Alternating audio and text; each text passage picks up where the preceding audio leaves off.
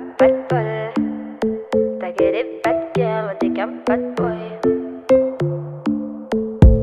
Le but d'une vie, c'est de faire de la monnaie.